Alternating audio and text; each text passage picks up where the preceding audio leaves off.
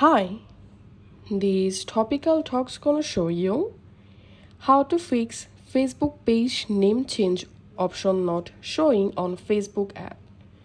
So as you can see right now I'm on my Facebook app and I switch to my Facebook page. Now I'm going to tapping on my page profile photo and tapping on settings.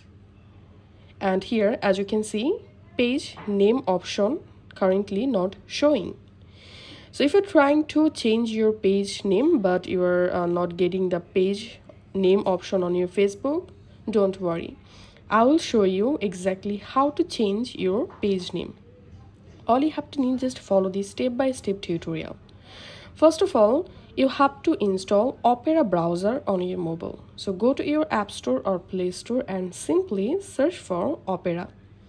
All you have to need install opera browser once it's installed, launch Opera browser on your mobile phone. And now just open facebook.com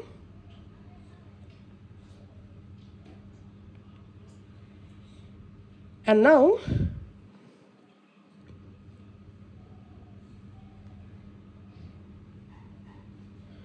just tap on log into another account and all you have to need just log into your Facebook account from Opera browser.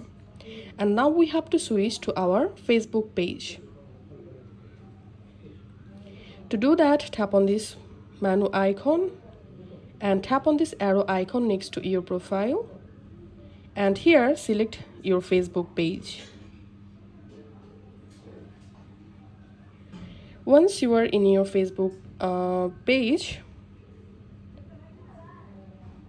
tap on menu again and scroll down tap on settings and here you will find this page settings option. Just tap on that and tap on name and that's it. Here you will find the facebook page name changing option. All you have to need delete your current page name from here and write your new page name and just tap on review change and your page name will be changed. If this video help you out please leave a like and leave a comment down below. Thank you for watching